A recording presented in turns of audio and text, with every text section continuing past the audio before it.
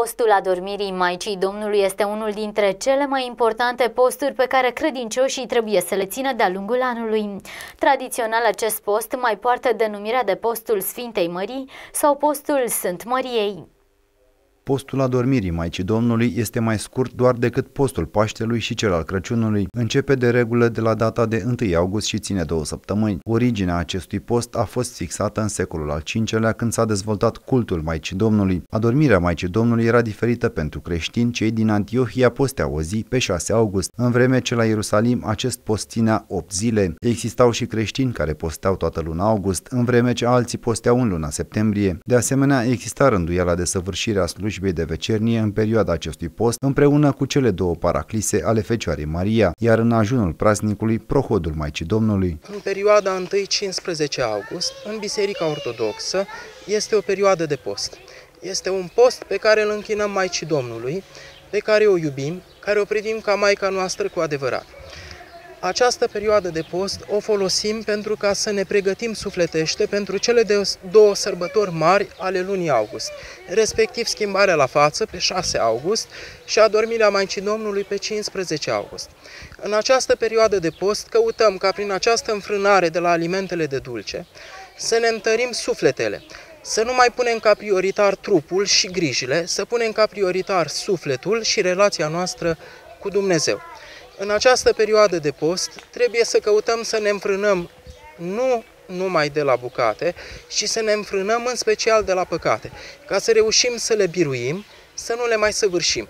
Perioada de post este o perioadă de încercare pentru creștin, în care se luptă cu uh, greutățile sufletești, se luptă cu patimile sale, ca să le biruiască, să se elibereze de ele, ca fiind sufletul descărcat de rele și de păcate, să poată fi încărcat de puterea și harul lui Dumnezeu. De aceea nu mâncăm de dulce în aceste zile, nu trebuie să ne întristăm, pentru că în locul plăcerii pe care am avea-o de la mâncarea de dulce, iată Dumnezeu ne va răsplăti cu darurile sale speciale și care ne folosesc cu adevărat și care ne dau putere să biruim această viață dureroasă și păcătoasă și care ne dau uh, o arvună a vieții veșnice pe care Dumnezeu ne-a pregătit-o și pentru care ne-a sădit și ne-a creat. Lăsata secului are loc pe 31 iulie, însă în cazul în care această zi pica miercurea sau vinerea, se lăsa secul în cursul serii zilei de 30 iulie, iar postul începe pe 31 iulie. Acest post nu se rezuma la înfrânarea de la anumite alimente, ci mai degrabă la curățirea sufletului și apropierea sufletească de bunul Dumnezeu. Un post ușor în care nu se consumă dulce, deoarece prin refuzul consumării acestor alimente ne vom putea bucura de darurile pe care Dumnezeu ni le va oferi. În foarte multe localități din sudul țării se păstrează păstrează cu sfințenie obiceiul de batere a halviței, se obișnuiește ca gazda să lege o bucată de halviță cu o sfoară și începe să o plimbe prin fața tinerilor, organizați în echipe de câte doi, având mâinile legate la spate. Fiecare copil încearcă să prindă bucata. Majoritatea celor care participă la această tradiție ajung să se murdărească pe față și chiar pe haine.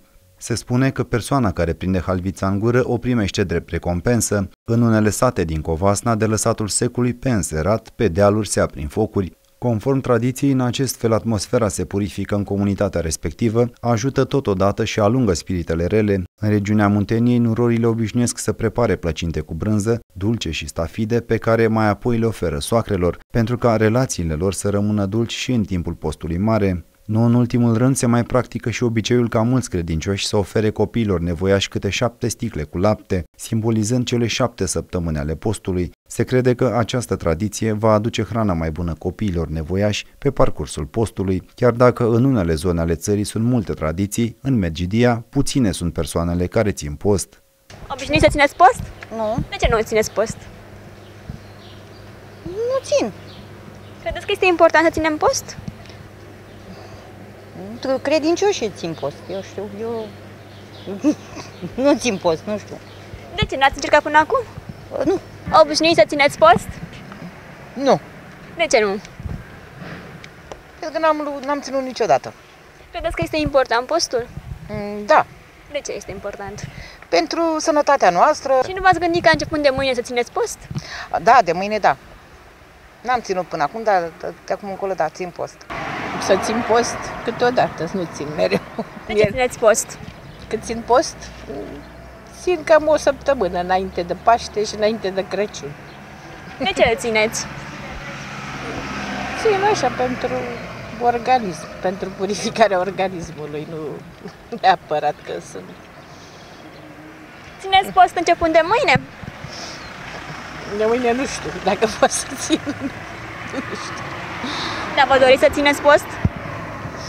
Nu neapărat. Am fost operată și de atunci nu prea am mai ținut post. Știți, știți în ce constă postul de mâine? Postul Sfintei Marii. Uh, nu prea. De ce? Uh, avem copii mici? Nu prea reușesc. Cât de important este postul pentru suflet? Uh, Destul de important, bănuiesc. De ce? Cureți sufletul prin post. O ții. Ce vrei să mănânc? Dacă ți poți, cu ce mă încălzești? Cât de important este postul? Pentru unii, da, pentru unii, nu știu ce să... De ce nu este important postul pentru dumneavoastră? Pentru că eu sunt bolnav. Și când erați... uh, Sănătos mai țineam așa. Câteodată. Da, acum sunt bolnav. Ce poți să mai ții? De ce este bun postul pentru cei bolnavi? Păi să mai prelungească viața. Potrivit tradiției bisericii, Maica Domnului a fost înștiințată printr-un înger de mutarea ei din această viață. Aceeași tradiție spune că apostolii, aflați în acel moment în diferite zone ale lumii, au fost aduși pe nori pentru a fi prezenți la acest eveniment. Apostolul Toma nu a fost prezent la înmormântare, sosind la interval de trei zile mai târziu, cerând deschiderea mormântului Maicii Domnului pentru a-i săruta mâinile, dar, pătrunzând în mormânt, l-a găsit gol. Acest mormânt a fost identificat în Ierusalim. Acesta pregătește creștinii ortodoxi de cele două praznice extrem de importante care au loc în luna august, schimbarea la față care are loc pe 6 august și adormirea Maicii Domnului, sărbătoare prăznuită de către Biserica Ortodoxă în fiecare an pe 15 august.